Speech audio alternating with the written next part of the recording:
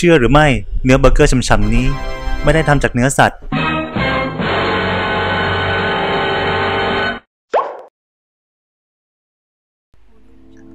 ดูเผินๆอาจจะดูเหมือนเนื้อจริง ๆ แต่เบอร์เกอร์ที่เห็นนี้ไม่ได้ทำจากเนื้อสัตว์หรือสัตว์ประเภทไหนครับ แต่มันทำจากโปรตีนจากพืช หรือ plant protein รูปร่างเหมือนและรสชาติก็เหมือนกันแทบแยกไม่ออกจริง จากคำพูดของคนกินถึงกับบอกว่า โอ้โห เนื้อนี่มันชุ่มฉ่ำจริง ๆ แหล่งที่มาการผลิตเนื้อนี้มาจากห้องทดลองของบริษัท Beyond Meat อยู่ที่ El Segundo รัฐแคลิฟอร์เนียประเทศอเมริกา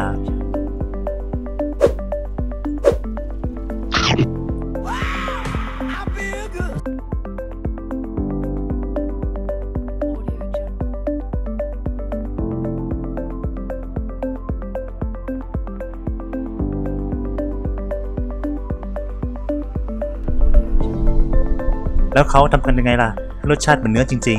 ๆ เริ่มจากนักวิทยาศาสตร์คนนี้ชื่อว่าปาร์เกอรีนำเนื้อเบอร์เกอร์ที่ผลิตจากผักนี้ มาชำแหละและวิเคราะห์ ตั้งแต่ว่าในเนื้อนั้นให้กากใยอาหารแค่ไหน ตรงไหนจะกันแล้ว เหมือนเส้นเอ็น เหมือนกล้ามเนื้อจากเนื้อวัว ความนุ่มจากไขมัน และเปรียบเทียบจากประสบการณ์การกินเนื้อของเขาเองว่ารสชาติเป็นยังไง และถึงขนาดส่องดูโมเลกุลของเนื้อ ด้วยกล้องจุลทรรศน์สุดไฮโซ หรือ High Power Microscope เพื่อเช็คเปรียบเทียบกับเนื้อเบอร์เกอร์ที่ทำจากเนื้อวัวจริง ๆ ครับ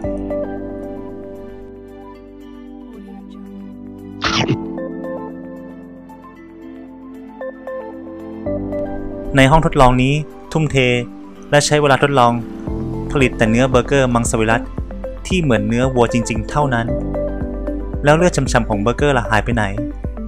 ไม่มีเลือดสีแดงเจือในเนื้อมันก็ขาดอรรถรสนะ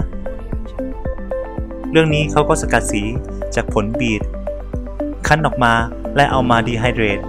คายน้ำส่วนเกินออกมาเพื่อสกัดออกมา เป็นเลือดผงใช้ผสมในอาหารต่อไป หนึ่งในนักวิทยาศาสตร์ในแล็บนี้ จอห์นนี่กอร์ดอน บอกเลยว่าปลอดภัยแน่นอนเพราะทำจากพืชไม่มีสารเคมีเจือปน เปรียบเสมือนยกสวนผักมาประเคนถึงจานอาหารเลยทีเดียวนะครับ นอกจากสีแดงแล้วก็มีสีอื่นๆ สกัดออกมาด้วย ซึ่งการสกัดสีแต่ละครั้งอาจจะได้สีที่แตกต่างกันออกไปบ้าง เนื่องจากปัจจัยหลาย ๆ อย่าง จากส่วนผสมพระเอกสำคัญของเราก็คือเนื้อเบอร์เกอร์ที่ทำจากถั่วลันเตา ส่วนความชุ่มชื้นของเนื้อมาจากน้ำมันมะพร้าวและแป้งข้าวโพด ในห้องทดลองนี้ไม่มีการใช้ถั่วเหลือง น้ำตาลกลูเตนและ GMO รือการดัดแปลงทางพันธุกรรมเพื่อใช้ในอาหาร และผลที่ได้ก็เหมือนเนื้อมากๆครับ เนื้อที่ทำเสร็จจะถูกเข้าเครื่องเอ็กซเรย์วิเคราะห์ว่าเหมือนเนื้อจริงแค่ไหน ใช้ e-nose ไม่ใช่โน้ตดมนะครับ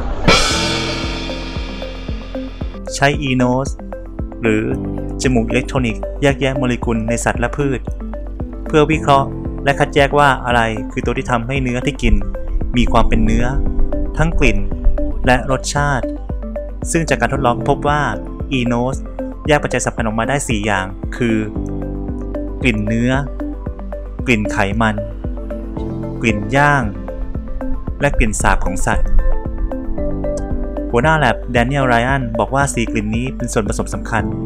เมื่อรวมกันแล้วจะให้ความรู้สึกถึงความกลมกล่อมของเนื้อ พิธีกรที่ไปสำรวจลองดมดูก็รับรู้ได้ถึงกลิ่น รวมไปถึงรสชาติของเนื้อเบอร์เกอร์ด้วยครับ เสร็จจาก e-nose ก็เป็น e-mouth หรือปากอิเล็กทรอนิกส์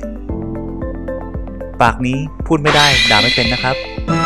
แต่วิเคราะห์ได้ถึงสัมผัสการเคี้ยว และความรู้สึกในปาก วิเคราะห์ผลออกมาทางคอมพิวเตอร์ เสร็จจากขั้นตอนทุกอย่างแล้ว ก็จะได้เนื้อเบอร์เกอร์มังสวิรัตนำไปย่างกินได้ ย่างเกรียมๆหน่อยรสชาติเหมือนเนื้อทุกอย่าง ทุกอย่างนี้เป็นการกินและความรู้สึกของคนที่ไปเยี่ยมแลบเท่านั้น ผมเองก็ยังไม่รู้เหมือนกันครับ ว่าจะเหมือนเนื้อมากน้อยแค่ไหน แต่แค่ดูก็ต้องบอกตามตรงครับว่า แค่เห็น ก็อร่อยแล้วครับ Oh yeah. ชอบวิดีโอและเนื้อหาของเราช่วยกดปุ่มไลค์เป็นกำลังใจ